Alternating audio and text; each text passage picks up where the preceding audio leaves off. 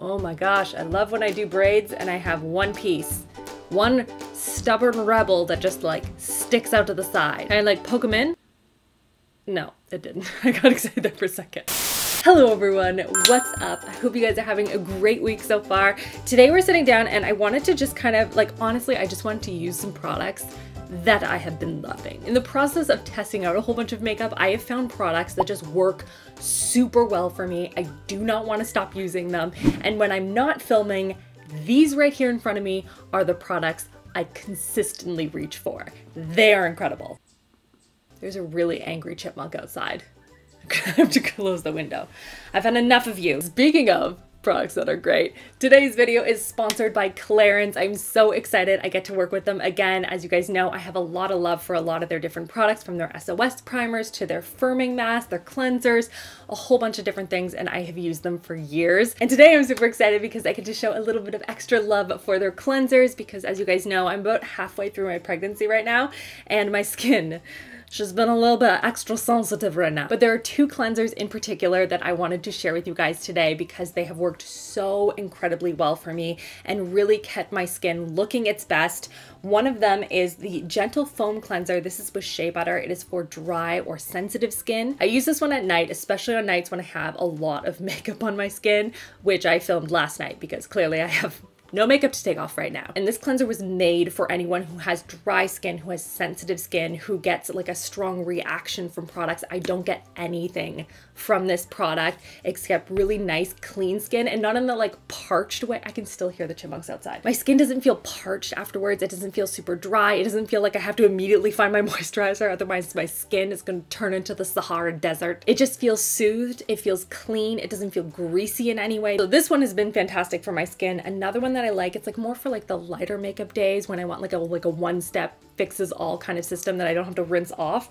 It is the Water Comfort One Step Cleanser. This has peach essential water and it's for for like normal to dry skin. And these are just two that I really love that I continually reach for, but they have 15 15 different cleansers, toners, makeup removers, all geared to different skin types. You can pick one that really works well for you.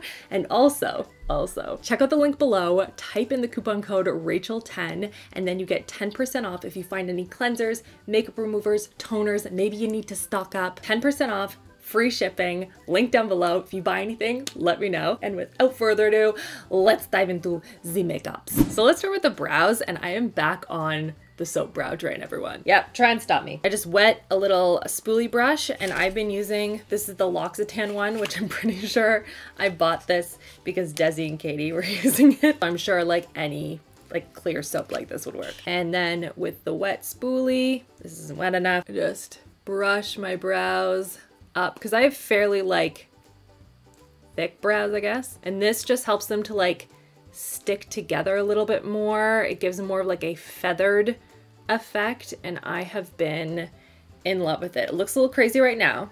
Give it a minute though. Still have to put in some pencil. Anyone else have a favorite brow? This is by far my favorite brow. It is it is always looking its best. Never doubt I never doubt it. Now for eye pencil, I've been really loving the Arch Brow Micro Sculpting Pencil. This is from Hourglass. I'm using Warm Brunette. It's almost like a thin oval shape. And I just, I just really like it. And I'm just going to fill in just where I need to. Because if I start like filling in all over, then I'm just gonna get a fully penciled in brow, which is not the look I'm going for. There's like a little spot under here. That needs a little, just a little TLC, and then maybe back here a bit. And then I always press them down, just the base, to kind of keep them intact. Keep them looking the best. For eyes, I've been kind of flip-flopping between this is the NARS uh, lid primer and the the, this is, sorry, Smashbox. Did I say NARS? I like the NARS and the Smashbox ones. And the eyeshadow palettes that I've been really living in, two of them that are a little bit more new, I guess, would be the Sweet Talk palette from ColourPop, the Natasha Denona Sunrise palette, and then the Opposites Attract palette from e.l.f. These three have basically been my go-tos. Unless I'm going super dramatic or over the top and want something that's a little out there or I have a specific vision for a look, these are kind of the ones that I go to the most and I just find them to work really well together and the eyeshadows blend well and they're just easy to apply. All right, we did like a little purple, little purple thing today with the eyes. Kind of like it. And I used a mixture of Feel Free from the ColourPop palette and then Clove and Glory from the Natasha Denona palette. Everything else is just neutral browns kind of thrown across the board. For liner, I've been really enjoying using the High Pigment Longwear liner from NARS on the tight line. Actually, I need to... It's very stumpy right now. This is Mambo, but I'm using a bunch of the different brown shades and like I'm barely barely touching. And it just is so pigmented. So pigmented. But it takes like zero effort to apply it. And that's what I really like about it. It stays put. It's creamy. You can tell by the fact that it's super stumpy. That's how much I use it. And mascara, I... I was looking. I was looking through some of the new ones that I've been trying and then some of the old ones that I've been loving. And my favorite combination, still to this day, is the YSL The Shock and the Mile High Club from Wander Beauty. These two together, like I've tried other ones with the Wander Beauty one, I've mixed them up, I've used a different lengthening mascara, and some of them are good, some of them are bad, but these two together just work so well in my personal opinion, and they don't you know, end up underneath the eyes. I don't have like raccoon eyes by the end of the day, and I still get that drama. I feel like I've been using this mascara since like 2016, not this exact bottle. So I'll usually do two coats of the YSL one and then I'll go in and I'll put the Wander Beauty one right on top, mostly towards the, the tips of the lashes and then I'll only use the Wander Beauty one on the lower lashes. I'm gonna leave the under eye mascara until I'm done all my concealer and everything first though, because otherwise I'm just gonna end up with a, a lovely gray mess under my eyes. Wet mascara and wet concealer do not go well together. So moving on to the face, the Cover FX Gripping Primer. This is a very sticky, very tacky formula when you put it all over your face and it just, it keeps everything there. That's the purpose of it. It grips the makeup to your face. So I'll just take a little dollop and I will put it on, focusing on the areas where my foundation tends to either slip or crease. I'll even put a little bit like underneath the eyes. And this one's like definitely the one I like the most for like a full coverage makeup day where I'm having like stuff slathered all over my face. I do really love a good blurring primer though. Like I, I have all my primers right here in front of me. The Versali blurring primer, the obviously the Clarins SOS primer, go to. And while the Cover FX one isn't blurring in any way, I wish it was, that'd be great. It does work really well, especially with the next product, which is the foundation, which is my go-to, also concealer concealer. Um, it's by PÜR. They're 4-in-1 Love Your Selfie Longwear Foundation and Concealer. It has a little pump here. You pump out the product. You probably heard of this. This is the 100 Shades Foundation. And then when you unscrew the top right here, it has a little doe foot applicator and you can use that to apply the concealer. And I always use a wet sponge for the gripping primer because again, it's gripping and I feel like using a brush, it just like creates these like weird sticky patches. And I always start towards the outside of the face and then work my way in. So I'm using less product towards the center of my face, which I know is counterintuitive. I feel like everyone starts near the center of their face and works out, but I feel like then I get too much product near the front and then I'll have like weird patches near the back that I can't see that don't have any product on them. And then we're gonna throw a little bit underneath the eyes too. And the great thing is that everything blends together. You don't have to worry about like matching your concealer to your foundation because it's all in one. Such gorgeous coverage. I love it. Now step one of blush because one blush is not enough for me. This is by Flower Beauty. This is their blush balm in the shade Nectar. And it's just like a color blush drop. It looks like this.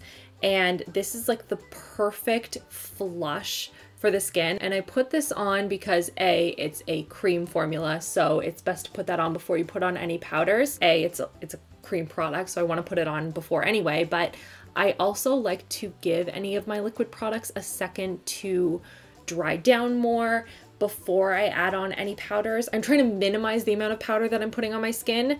So if I can just use a little bit of bronzer, a little bit of powder underneath the eyes, then I'm happy. And I will build this up too if I can. And I'm always adding more blush as I go. I find that blush tends to just sort of fade naturally over time for me.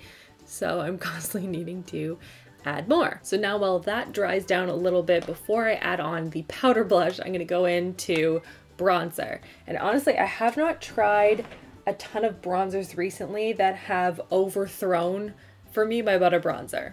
Maybe that's just me. Creature of Habit. I like the OG.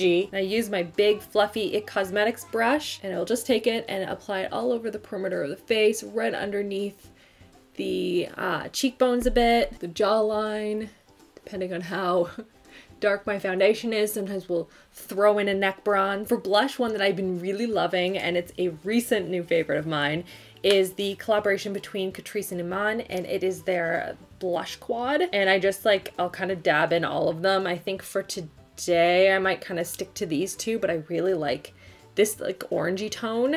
It looks a little scary, at least for me and my skin tone. I was like, oh no. But mixing, oh, it's beautiful.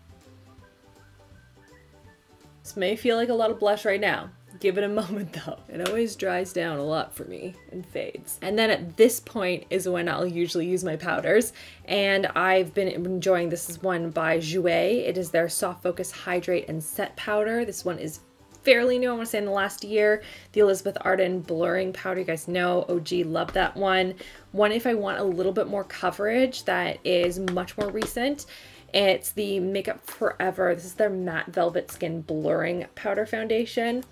Oh, this is so good. So good. If you detest powder foundations and haven't used them in a while, try this one. You will be surprised. I don't want extra coverage today, so I think we're gonna go in with a little bit of the Jouer today. And this one I like underneath the eyes because again, it has that hydrating element to it, so I'm not getting super cakey or powdery underneath the eyes. And I'll start right where all of my like pores tend to create the crater-like effect and then work my way up. It's just like a really nice soft focus effect. And then I'll also set around like smile lines around the nose, anywhere that I would crease, the center of the forehead. I love sometimes just sitting down and using the products that I use the most often, as fun as it is trying out new products. And I love that. This is also super fun, just sharing with you guys the products I like constantly love because I'm always getting that as a question too like do you still love this product do you use it do you enjoy it like what are you using all the time and so this is a nice way of addressing a lot of those comments and showing you guys what I really enjoy. And then I think I want to take a moment right now just to kind of fix up like the under eye situation. So I'm going to take a little bit of the e.l.f. palette. I'm to take Saucy, this one down here, and I'm just going to blend out a little, create a nice smoky effect. I love adding a lot of powder underneath the eye, like a lot of brown shadow. I just think it creates such a beautiful dramatic look without being too dramatic or too heavy either. And it feels weird sometimes, like when you're applying it, because you're like, oh, that feels like it's too far down. This is gonna look crazy. And then I'm always really happy with it. And then going in, mascara it up under there. And for highlight, I mean, no, no one's surprised. Clearly I'm using the one that I created. Mixing Clutch and Tea today. I'm just doing a really light touch to begin with.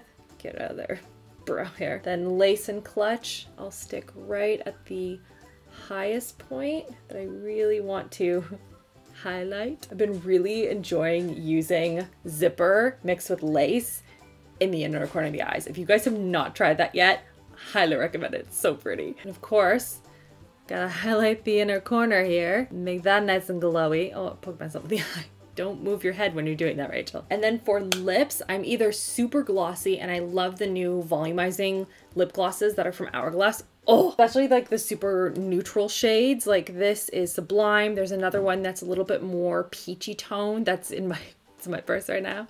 Also really good. They're very pigmented, very, very thick, but in that nice kind of non-sticky tacky way, just very glossy and beautiful. I also have been really enjoying taking the Maybelline Superstay ink crayons. Um, so one that I like that's more like an everyday neutral shade is, I don't even know what this is called. Hello? There it is. Lead the way. Or I'll take something more bold like a red. This is Own Your Empire. This one over here is more of a red or like an orangey tone and it's Laugh Louder.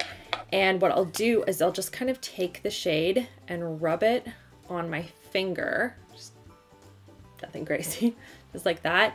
And I'll apply it like a stain and it stays put, guys, for so long. It looks so good. If you want like a custom color, you can even mix some shades together. So you could take a more neutral shade if you want and mix it with a darker shade and then like create a color that's like something you would enjoy more. I just realized I'm using my middle finger to apply it. Good job, Rachel. Like how pretty is that, right? And it doesn't move. It, it just stays like that. To set everything on my face, there are two, two different setting sprays that I just keep reaching for. I just keep gravitating towards these, can't stop. One fell on the floor. It is the Tarte Stay Spray. This is their setting spray. It just works really, really well for me. I love the scent of it. It's kind of a very light cucumbery scent, nothing too overpowering or crazy. And then I'll usually take a bit of the Catrice Illuminating Prime and Fine. This is one that I have started really using more recently, but really loving it. This is the Dewy Glow one. And so I will start and I'll spray this all over and then I'll take like a ch ch ch of this one. You like this sound effects by the way. And then I'll just like fan my face or I'll use a little little mini fan and it's the perfect amount of setting everything down and more of like a very natural finish and a little pop of the glow. This one has such a fine mist, by the way. Love that. Fan her down. And here it is, the result, the products that I just keep reaching for that I absolutely love, all on my face at once. It's a great day. Check out these videos on the side in case you have missed any recently. Lots of new stuff going up every single Thursday, so make sure you subscribe so you don't miss out. And that's everything. I hope you guys are having an awesome, awesome week, and I'll see you guys all in my next video. Love you all. Mwah.